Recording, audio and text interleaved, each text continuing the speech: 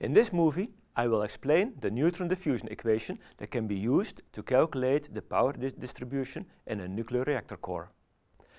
First, we define the neutron flux density, sometimes briefly called the neutron flux. In contrast to other fields in physics, the neutron flux density is not a vector, but a sca scalar. It's equal to the product of the neutron density and the velocity of the neutrons. Therefore, it can be viewed of as the total distance traveled by all neutrons in a uni unit volume per unit time. Typically, the neutron flux density is depending on space, energy and time. For simple applications with no energy dependence, the one-group approximation can be used, in which it is assumed that all neutrons have the same energy. In the remainder of this video, we will adopt this one-group approximation. The definition of the neutron flux density is illustrated in this figure.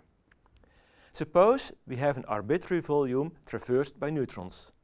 If we sum the segments of all neutrons through the volume per second and divide by the size of the volume, we get the neutron flux density.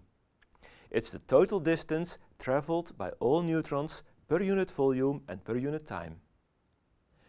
Previously, we have seen that a microscopic cross-section of a nuclide is the effective area of the nuclide for interaction with neutrons.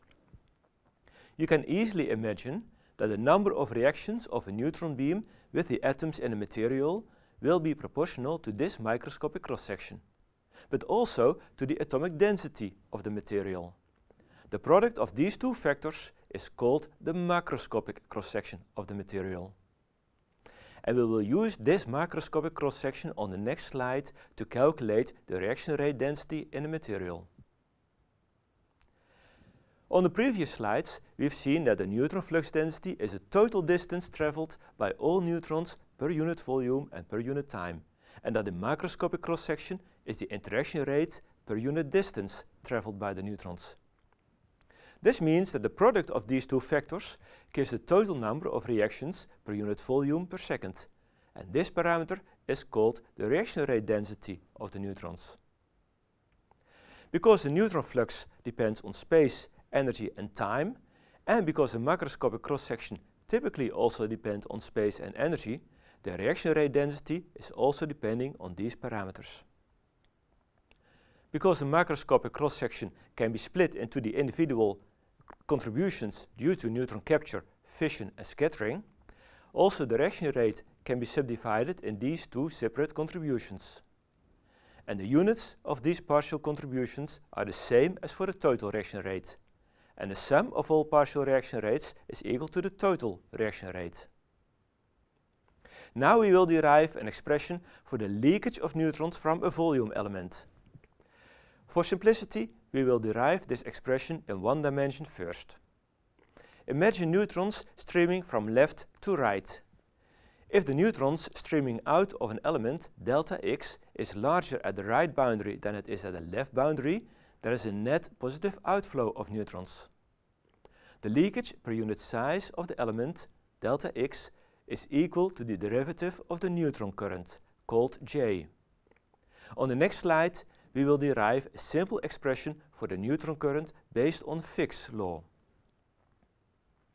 Now we will derive an expression for the flow of neutrons from one region to the other.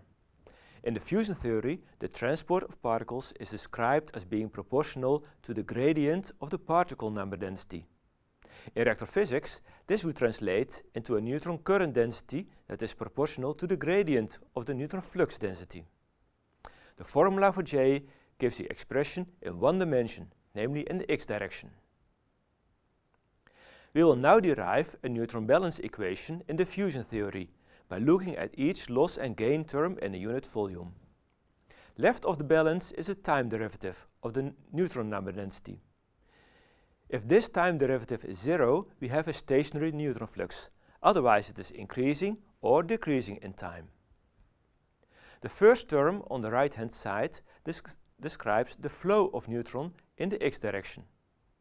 We would have similar terms with y and z in a three-dimensional problem.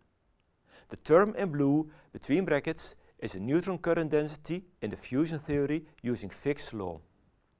Note that we have two minus signs here because the leakage is counted as a loss term in the balance equation, which adds another minus sign in front of it. The second term on the right hand side is the absorption rate of neutrons, which is also a loss term, and which has therefore also a minus sign in front of it.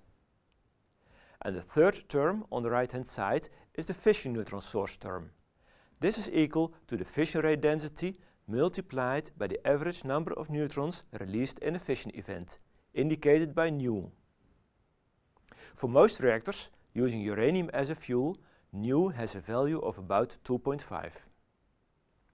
This equation shows the same expression for the three-dimensional case, where d phi dx is now replaced by the nabla operator. Nabla stands for the three-dimensional derivative in all three directions, x, y and z. If we would have a homogeneous reactor core, the diffusion coefficient would not be spatially dependent anymore, and the equation would become as in the bottom line. There is one important step to make. In the design process of a nuclear reactor core, it would be very difficult to find a fuel composition that would make the reactor core exactly critical and the neutron flux density independent of time. Therefore, we apply a kind of trick. We adapt the production of the fission neutrons a bit, such that the production rate of fission neutrons at one hand balances the leakage and absorption rates of the neutrons at the other. For this purpose, we add the factor in red, 1 divided by k in front of the fission neutron production term. k is equal to the production of neutrons in fission events divided by the loss of neutrons due to leakage and ab absorption. It's therefore equal to the effective multiplication factor that we've seen before in the video on the neutron life cycle. From the neutron flux density, we can calculate the power density in a, in a reactor core. There is a simple relationship between the neutron flux density and the power density by first calculating the fission reaction rate and multiplying this with the energy release per fission. I want to end this video with a question to think over. Our research reactor at TU Delft has a power of 2 megawatt. How many grams of uranium do we fission per day?